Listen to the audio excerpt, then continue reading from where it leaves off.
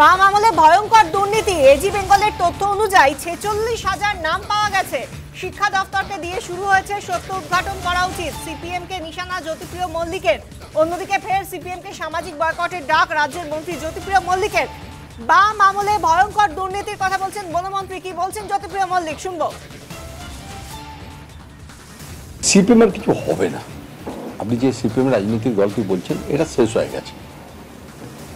দল সিপিএম দল হবে না। এই যে মুখগুলো সিপিএম দেখেছেন না আপনি যে মুখগুলো এখন দেখেন বাংলায়? যারা মাঝে মাঝে টিভিতে আসেন, এই মুখগুলো পচে গেছে। পচা মুখ আর হবে না, নতুন মুখ চাই। আমি একটা স্লোগান দিয়েছিলাম, মনে আছে দু হাজার এগারো সালে। নভেম্বর মাসে আমি একটা স্লোগান দিয়েছিলাম, জেতার পর। সেই ক্যাপশনটা কিন্তু আজকে খুব প্রযোজ্য মানুষের কাছে। সিপিএমের সাথে চলবো না তার সাথে বৈবাহিক সম্পর্ক তৈরি করব না। তারা কোনো বিয়ের বাড়ি গেলে যাব না।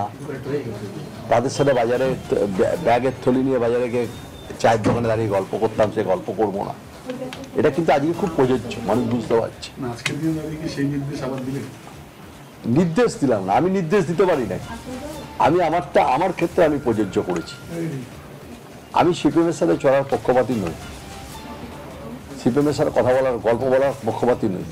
এ বিভৎস, ভয়ঙ্কর রাজনৈতিক দল। এরা কি করে গেছে সেটা গত কয়েক, কয়েকদিন, দুদিন ধরে বাস্তব বর্তমান শিক্ষামন্ত্রীর কাছে শুনতে পাচ্ছেন আপনারা। তিনি বলছেন, ভয়ঙ্কর করে গেছে, ভয়ঙ্কর কীর্তিকলাপ করে গেছে। মমতা বন্দ্যোপাধ্যায় যদি সমস্ত দপ্তরের এনকোয়ারি করেন, তাহলে সিপিএম এর লিডারদের কি হালত হবে সিপিএম এর লিডাররা বুঝতে পারছে না। আরম্ভ হয়েছে, শিক্ষা দপ্তর দিয়ে আরম্ভ হয়েছে। তো একটাই দেখেছেন যা দেখেছেন ছেচল্লিশ হাজার নামে আমরা বলছি না। অ্যাকাউন্ট জেনারেল অডিট জেনারেল বলছে অডিটর জেনারেল বলছে। এই যে বেঙ্গল বলছে যে যা হয়েছে। নিশ্চয়ই যখন বেরিয়েছে তখন তদন্ত করতেই হবে। সত্য তো উদ্ঘাটন করতে হবে মানুষ তো জানতে চাইবে। সত্য তো উদ্ঘাটন করা উচিত। আমার মনে হয় এটা উচিত সত্য উদ্ঘাটন করা উচিত। মানুষের জনসমক্ষে নিয়ে আসা উচিত সব করায় জিনিস এই বিষয় নিয়ে সুজন চক্রবর্তী সিপিআইএম এর নেতা তিনি ঠিক কি জানিয়েছেন আমরা শুনব। জ্যোতিপ্রিয় মল্লিক খুব বড় নেতা ছিলেন খুব বড় মন্ত্রী ছিলেন খুবই প্রভাবশালী ছিলেন।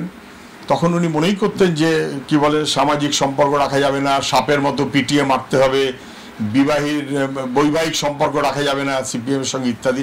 এগুলো যত বলেছেন তত বড় নেতা হয়েছেন। এখন ওর নেতাগিরি কমে গেছে।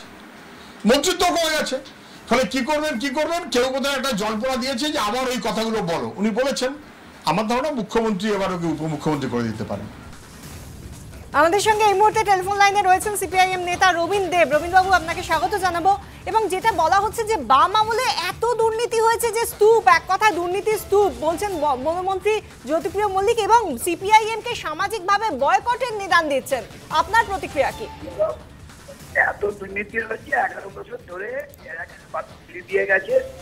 এই জ্যোতিষমল্লিক প্রথমেই বলেছিল সামাজিক বয়কটের কিন্তু ওকে অনেকে বয়কট করছে তৃণমূল দলের সাধারণ মানুষ তো এই মুখ্যমন্ত্রীও তার দপ্তর থেকে এত অপরাধ তাকে দপ্তর থেকে সরিয়ে পাঠিয়ে পাঠিয়েছে। সুতরাং সে বনে জঙ্গলে থাকতে যা হয়, আর এই ভাষাই এখন প্রয়োগ করছে, মানুষের কাছ থেকে সম্পর্ক ওর কথা শেষ আজকে গোটা দলটা আপাত মস্তক দুর্নীতিতে জড়িয়ে আছে। যেখানে হাত দিচ্ছে, সেখানে যেখানে নিয়োগ যেখানে আছে, সেই পুরসভা হোক, স্কুল হোক, কলেজ হোক শিক্ষা হোক, যেখানে হচ্ছে হাত দিচ্ছে হচ্ছে সুতরাং সে দুর্নীতির জালে জড়িয়ে থাকা তাদের দলের লোকেরাই তাদের বয়কট করতে শুরু করেছে। সুতরাং অন্যকে যে বয়কটের কথা দিচ্ছেন আসলে বিজেপি যে তাদের দলকে যে বয়কট করার জন্য মানুষ প্রস্তুত হচ্ছে ঘরে ঘরে গ্রামনগর মাঠ বাজার বন্দরে তার ফলশ্রুতিতে তিনি এই এসব কথা সদুক্তি সহযুক্তি করে বলতে চেয়েছেন। সিপিআইএম কে বয়কট তৃণমূলের সাথে তো আমাদের কোনো সম্পর্ক নেই। ওদের সাথে ওদেরকে মানুষ ওরা তৃণমূল যে যায় মানুষ দূরে সরে যায়। সুতরাং তাদের সাথে সম্পর্ক রাখার আমাদের কোনো কথাই নেই। আমাদের জনগণের সাথে বলতে চাইছেন অন্যদিক থেকে তাদেরই মানুষ বয়কট করছে সেই জায়গা থেকে জ্যোতিপ্রিয় মল্লিকরা ভীত সন্ত্রস্ত হয়ে সিপিআইএম কে বয়কট করার সামাজিক নিদান দিচ্ছেন। ধন্যবাদ রবীন বাবু ধন্যবাদ ধন্যবাদ। আমরা কথা বলছিলাম সিপিআইএম নেতা রবীন দেবের সঙ্গে।